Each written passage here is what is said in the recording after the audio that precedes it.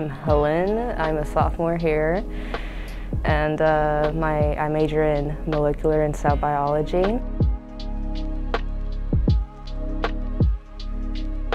I'm in Partners in Health Engage, which is a club that kind of like fundraise for underdeveloped countries that struggles in uh, health within the local communities.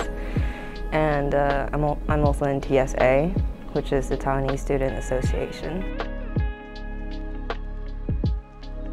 I've been doing fine in college at UConn here, but in high school I went to this boarding school in uh, Long Island, and it's like a very conservative, like predominantly white, you know, like private school, so it was hard making friends with like, you know, like American kids, because they kind of, I feel like they kind of just have this like prejudice against us, like, oh, like she's from Asia, I don't like, I don't think they'll like, she speaks uh, English or she'll like have the same things to talk to, like the same hobbies and stuff. So it was kind of hard, like uh, making friends.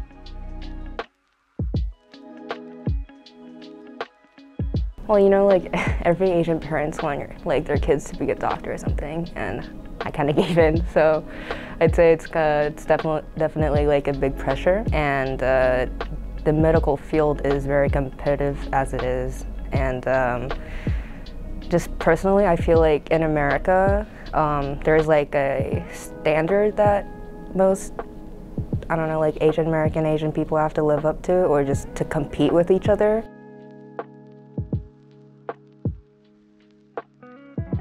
I'd say just prioritize yourself first, and it's okay if you don't live up to the standards your parent or like you set for yourself. Just be happy in general.